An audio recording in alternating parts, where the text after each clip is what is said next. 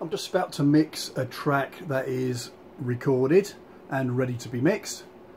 Sometimes the mix that I set up while I'm working is the basis for the final mix but on this occasion I'm going to pull all the faders down and actually start from scratch. This track has a solid drum groove as its basis. In fact it's a drum groove that I've used on a previous track. Um, I just like the sound of it, just used it again.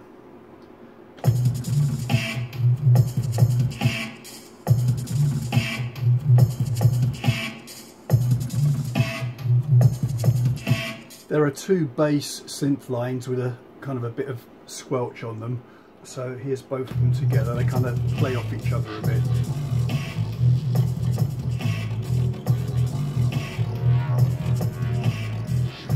And then there's a third synth part which kind of starts to bring a melodic element in.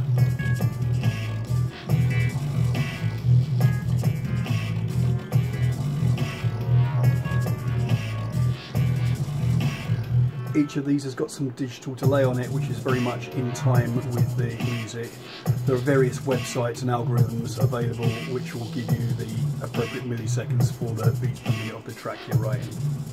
Right towards the end there's another synth part which makes some noises and I've done a high pass filter on it so to take out all the low end so what you're hearing is some of the top end bubbling through. I actually have it set very very low in the mix it just kind of shows through right in the big end section.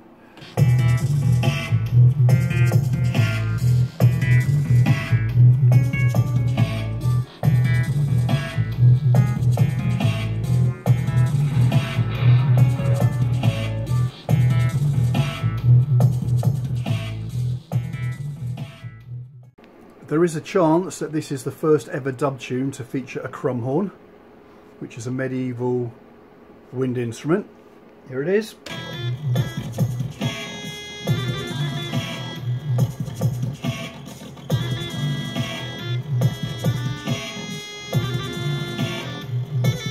I've got it playing a line that sounds kind of Middle Eastern. In fact, this whole track is built around the Phrygian dominant scale, which is it's a Western scale, but superficially sounds Middle Eastern.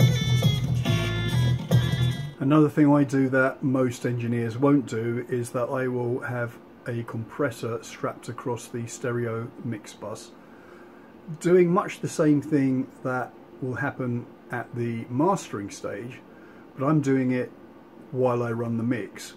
This actually makes mastering easier in some ways and it's not a way everybody likes to work and I'm sure there are some engineers who would be utterly opposed to it but I do all my tracks that way and it means all my tracks are very easy to master they're kind of half mastered already